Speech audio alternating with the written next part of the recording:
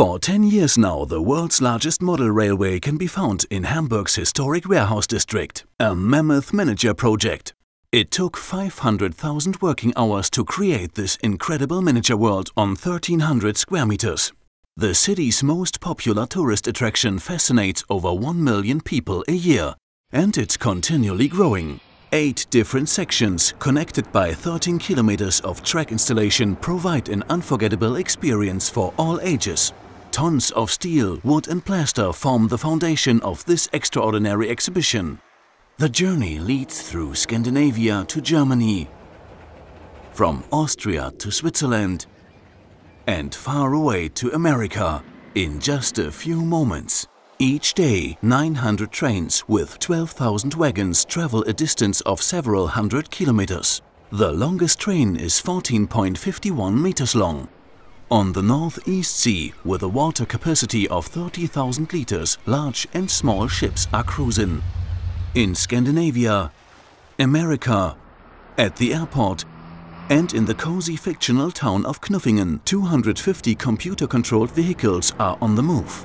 Special attractions are the fire runs, controlled by a sophisticated software. The fire brigades are constantly engaged in firefighting procedures, but the police are also busy tracking down traffic offenders. The newest attraction of the miniature wonderland is the Knuffingen Airport.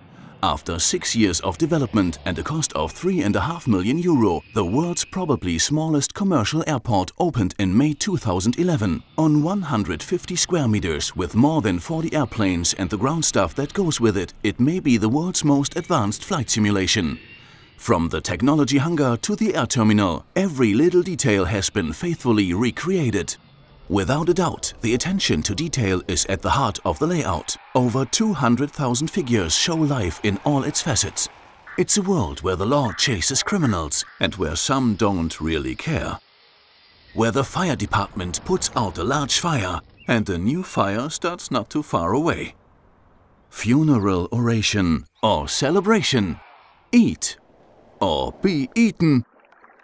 Travelers from this or another world Imagination knows no bounds in the Wonderland.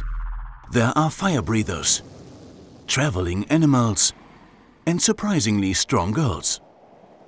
In a world alternating between hectic and peaceful, between wild animals and some that were already tamed. There are hunters and some just hunting for the best pictures. There are holy sanctuaries and some not quite so holy. There are people bursting with life, and some not so much. The Wonderland is absolutely diverse and unique. Travel from the highest mountain with over 6 meters, over dreamy streets to the Grand Canyon, snow-covered landscapes, through idyllic villages, to below the surface of the Earth. In the miniature Wonderland, a day lasts 15 minutes. At dusk, over 300,000 LEDs ensure that the layout shines in a captivating light. Then, the nightlife of the various regions really becomes visible. And amidst all this, more hidden stories emerge at the push of a button. There are over 200 push-button actions spread across the edge of the layout, where the visitors can actively participate in various forms. For example, in a sweet way at the chocolate factory, or in the daily struggle with the pitfall of technology, or in the creation of life, or with a bit too much craftsmanship. The technology behind it all is monitored by human eyes from a control console and with the help of more than 40 computers. These are controlled by a complex self-developed software. The Miniature Wonderland is internationally well known through more than 1000 TV reports and the 260 people on the Wonderland team are never short on new ideas. Until 2020 there will be new sections covering France, Italy, England and parts of Africa and who knows what's next. But there's no end in sight. To convey this marvel in 5 minutes? Impossible. Just come by and see for yourself.